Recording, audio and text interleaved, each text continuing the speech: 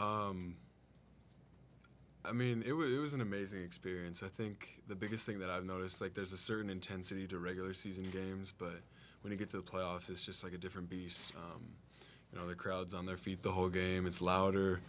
Uh, just the the tension between the two teams is higher just because they know what's at stake. So it was it was an amazing experience getting to see up close and personal like these you know great players, great teams go at each other, and I'm really looking forward to uh, many many more trips. Where do you feel like your game is compared to where it was at this time last year? I mean, I think it's progressed a lot. Just having the opportunity to you know go against some of the best players in the world every single day. Um, you know, I look at it as if you want to be the best, you've got to train against the best. And, you know, every day I had a chance to go in and play against guys like Kevin and Russ and guard them and go against them. And that has made me a better player. And then working with the amazing staff we have here has, uh, has definitely progressed my game, too. How did the end of the season, when you know you actually got solid playing time, how did that maybe help you going into the summer, knowing where you are?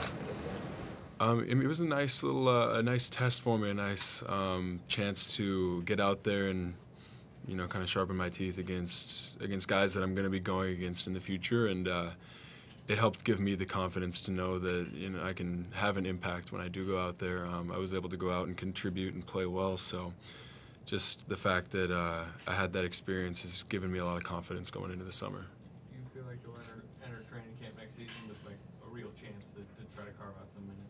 I do. I mean, um, obviously, this is a big summer for me, and I'm going to use it as a chance to continue to improve and get to the point where um, I can be a real help to the team and help take us to the next level.